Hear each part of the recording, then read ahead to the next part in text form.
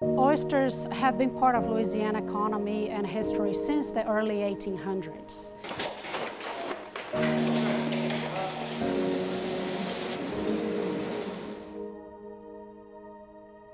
We liked farming. Uh, we just thought, you know, this this could be like uh, like land farming. we saw an opportunity about in 2013 to have a oyster lease here in Grand Isle. We're, we're always hoping for the best. It's going to be a rough evening for Louisiana, particularly in the, the southeastern uh, portion.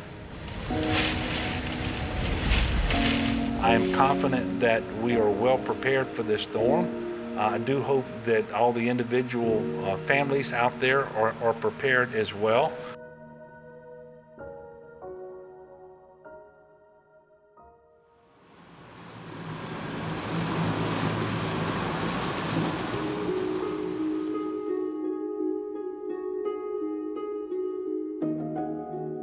That was a really bad day. Um, basically, all the work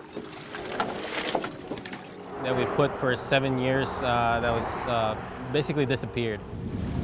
The, the spot where we had the farm was just water. There was no uh, oyster gear or anything uh, left.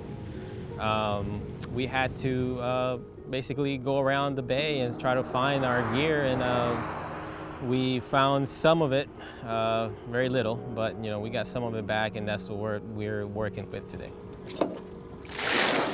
This is a late season storm that had a lot of momentum and acceleration with it, so it came through quickly. When Hurricane Zeta hit southeast Louisiana, Boris Guerrero and his father had been farming oysters in Grand Isle for seven years. You know, we don't need to feed them, you don't need to fertilize them, you don't need to use any chemicals to them. We just uh, let the bay, uh, you know, let the water flow through the through the oyster, and, uh, and the oyster is gonna start growing. So I think that's uh, that's the beauty about uh, growing oysters.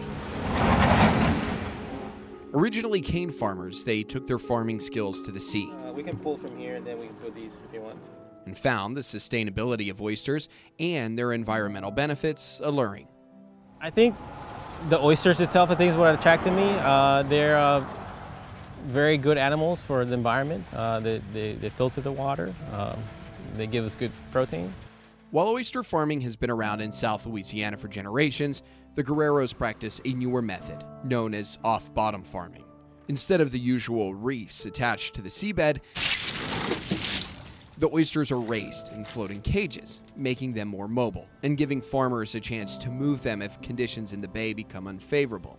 A benefit in an industry that is notoriously fickle. We're always hoping for the best, and uh, it does make us a little bit nervous every year because uh, you know, we, we know usually a few things will happen, either fresh water or hurricane. or those are the two main common things uh, when it comes around uh, oysters. Those challenges to growing oysters and a rapidly changing environment have taken a toll on the oyster population across the Gulf Coast over the past two decades. Since the early 2000s, we have seen a decline in the oyster population, especially in the public seed grounds. As oyster populations decrease, researchers say there's not just one singular issue to point to for that decline. We do have a lot of issues of sedimentation in Louisiana. Our coast is eroding, so that is part one. We have huge hurricanes, you know, storms every year, so that doesn't help either. Over the last few years, the Gulf has suffered a few major mortality events, with a major die-off of oysters in 2019, the result of a massive amounts of fresh water entering into the Gulf of Mexico. 2019 floods were extreme. It affected every basin in Louisiana. It caused mortality in every, from the side of Texas all the way to the border of Mississippi, including the state of Mississippi. But some areas had mortalities of 80 to 100 percent. The 2019 flood season was then followed by a record shattering hurricane season. And scientists worry that all of these stressors may start to become a little too much. And every year we have been seeing, you know, a lot of those issues. And it's mortality after mortality that, you know, Mother Nature is not rebounding as fast as she used to. Researchers along the Gulf Coast believe that as issues pile up, oysters will eventually reach a tipping. And while they may appear stable for a time, once that point is reached, populations sharply decline and eventually crash. And population crashes in the Gulf aren't unprecedented. While most of Louisiana's oysters are managed on private leased grounds, those oysters are still subject to the same environmental impacts as the ones on public grounds. They have seen very similar situations what we have, a lack of spat. Spat is the baby oysters. The lack of spat has made it harder for oyster reefs to rebound and has contributed to the population decline that Louisiana has been seeing. We never had issues before. It would be baby larvae all over oyster. You know, they would rebound very fast. And in the last, since uh, the 2000s, is just there's a lack of that spat. Let's do eight scoops. Both Boris and his father know the risks associated with making a living off of oysters. They've learned plenty of lessons along the way. The main lesson is we got to do a little bit things uh, differently. Uh, we have to uh, use maybe a couple different gears so we don't have one gear uh, uh, that, that will fail the same way all throughout. Not only different gear, but different locations uh, around the coast. I think it'll be the best because, you know, if, if it's bad in one part, you'll have maybe a little bit better on the other side. but to them, it's a way to help connect to the natural world.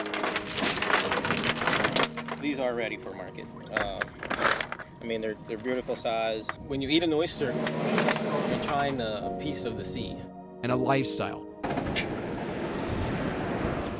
that gives them a chance to disconnect from the modern one. I think it's very peaceful, and uh, I think you you sort of disconnect with the whole world when you're out there and you know doing what you got to do. And I think it's a uh, uh, it's it's a whole different lifestyle that uh, we do enjoy doing it.